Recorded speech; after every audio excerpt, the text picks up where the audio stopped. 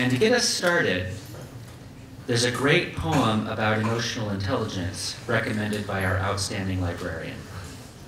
A Lazy Thought by Eve Merriam. Listen carefully. There go the grown-ups to the office, to the store, subway rush, traffic crush, hurry, scurry, worry, flurry. No wonder grown-ups don't grow up anymore. It takes a lot of slow to grow. When I count to one, you can open your eyes. Three, two, one. We have a very special guest with us to offer our talk this morning.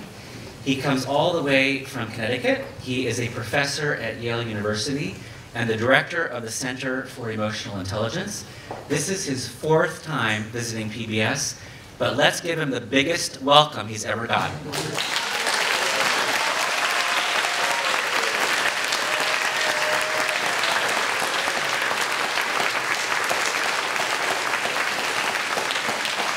Thank you, Scott. I feel like I'm at an Amway meeting, but. So I guess my job is for the fourth time to ask everybody how they're feeling. Maybe that's the fourth time you've ever been asked how you felt. Hopefully not. I'm sure it's an everyday thing, right? So truly, truly how is everybody feeling? All right, good and okay are no longer words in this English language. So who can give me another word for how they're feeling besides good or okay? Yes. Excited. Happy. How about you? Um, Decent. Decent. Wow. How about for you? Calm. How about for you? Sad. Sad? Okay, but you're smiling. Welcome to Silicon Valley. All right, how about for you?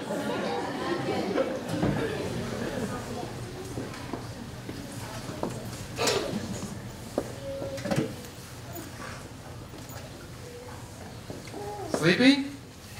All right, you look a little sleepy. How about for you? Awesome. All right, how about one more? You're feeling so-so? All right. All right, one more. Joyful. Wonderful. But we're going to stop there. But those are those are pretty good feelings. So I was asked, uh, I, I have a, a challenge put, a, put, a, put upon me. And as all of you know, I'm a teacher, just like many of the people in this room. Um, the only difference is that I teach students who are 18, 19, 20, 21 years older, older. And I've done some interesting research on these college students. And one of the things that I've learned about these very smart 18, 19 year old students is something I think is very interesting. That the students who want to do the best, how many of you want to do your best? That's good. None of the parents are raising their hand. They're like, I did that already. So we all want to do our best, right? We all want to work hard. Uh, we all want to get good grades and things like that. But here's what I've learned. What I've learned is the following. That the students at my university who want to get the best grades and to do their uh, best take the least amount of risks. So I want you to just think about that for a minute. That the students, right, who are striving to get the best grades are the ones who take the least amount of risk. Does anyone have any, can anyone, why do you think that might be the case? What do you think? Because they don't want to mess up. Excellent point. How about for you?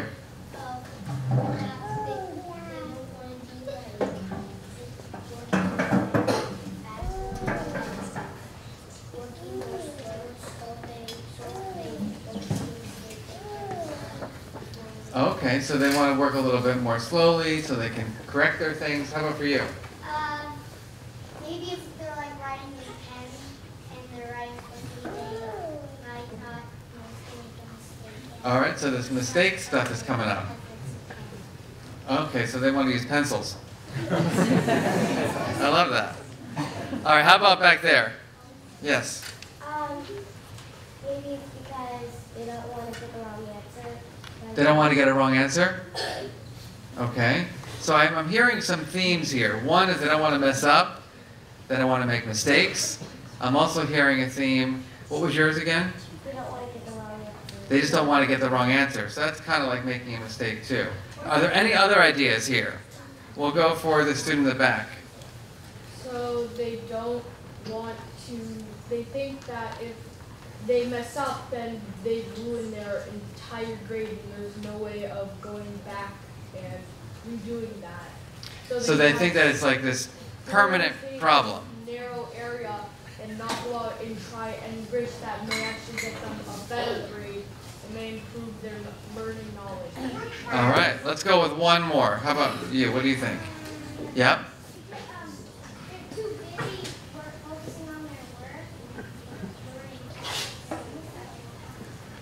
Interesting. So they're too busy focusing on maybe the grade or getting right getting a high grade than they are maybe on learning. What do you think about that one? That sounds tricky, doesn't it?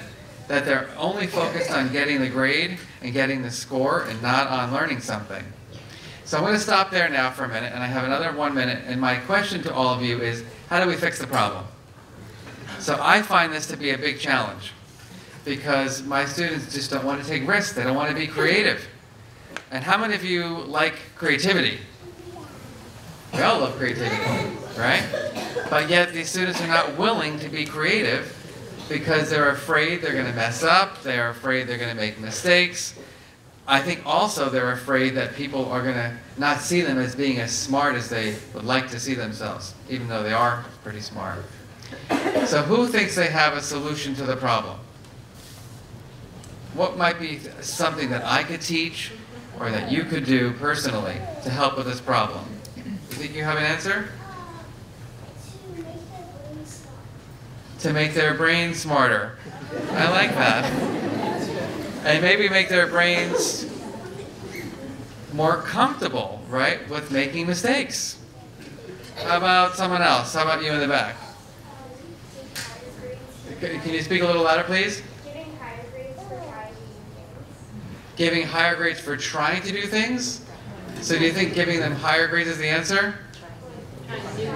Or try new things? Oh, I like that. So being innovative. What do you think?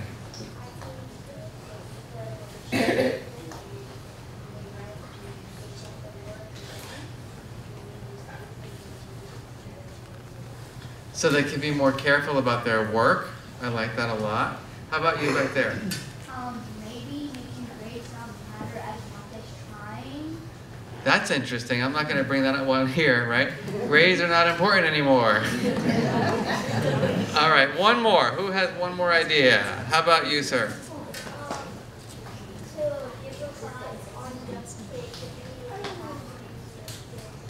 That's a nice idea. So have just be being taught things that where you're you're evaluated for or you are rewarded for your divergent thinking and your creativity. That's very interesting too. So I need to stop here, but I am going to put out a challenge to everyone in the room. And the challenge to all of you is how do we help our students, like all of you, feel comfortable taking risks so that you can be in the mode of being the best possible learner and being in the mode of trying to be the most creative as opposed to strictly focusing on what? Getting higher grades. Exactly right. Can everyone take a nice long inhale for me? And a nice long exhale. And take one more inhale. And one more exhale.